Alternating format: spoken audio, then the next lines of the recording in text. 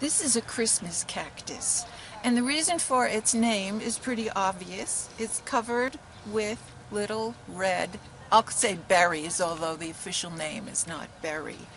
Uh, it's a really neat cactus. It does have prickers that will really tell you stay away, but also it tends to have its little tiny new branches will fall off and you will have a whole family of new little cactus.